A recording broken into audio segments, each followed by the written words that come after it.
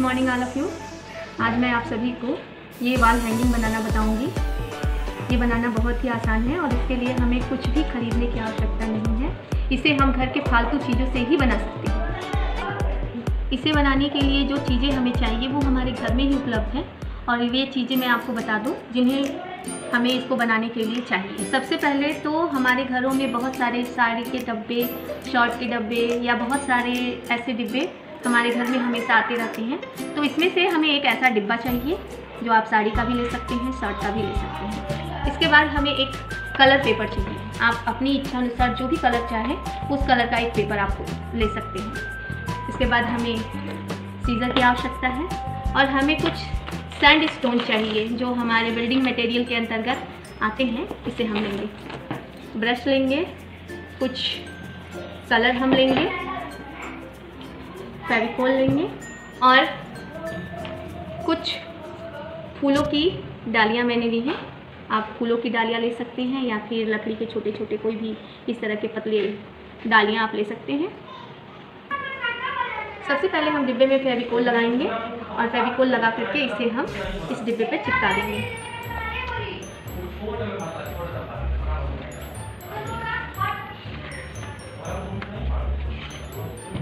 और इसमें हम इस कलर पेज को लगा देंगे।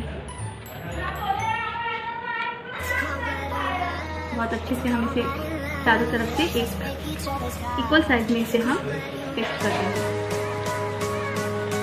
फिर इसमें हम जो हमने ब्रांचेस लिए हैं, इन डालियों को हम लगाएँगे।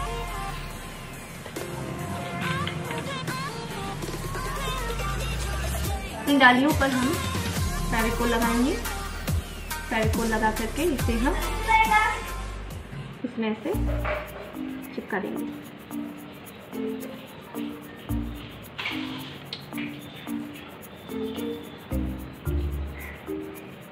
ये डालियाँ सूख के हमारी चिपक जाएँगी। इसे हम तब तक सूखने के लिए छोड़ देंगे। फिर हम पत्थरों पर फेविकोल लगाएँगे। और इसे हम। यहाँ से चिपकाएँगे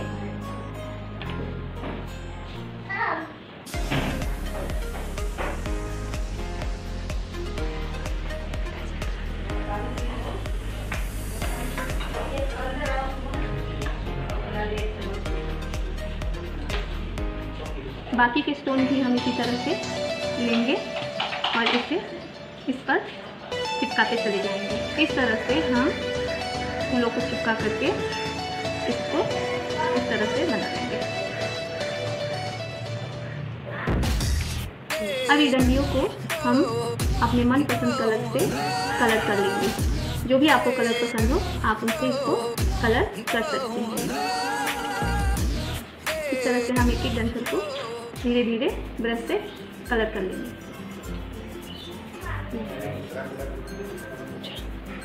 इस तरह से हम इस पर इन डंटियों को रंगों की सहायता से कलर कर लेंगे।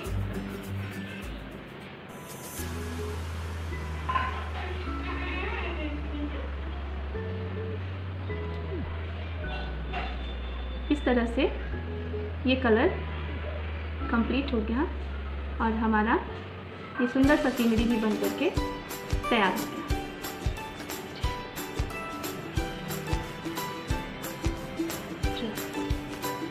आप इसे अपनी पसंद से चाहें तो इसमें और स्टोन लगा सकते हैं।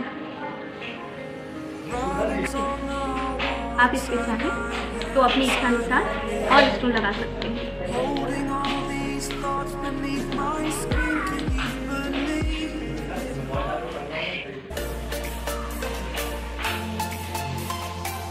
तरह से हमारा ये सुंदर वाल होंगे, बनकर तैयार हो गया। इसे आप दीवार पर लगा सकते हैं। या इसे कहीं आप रख भी सकते हैं।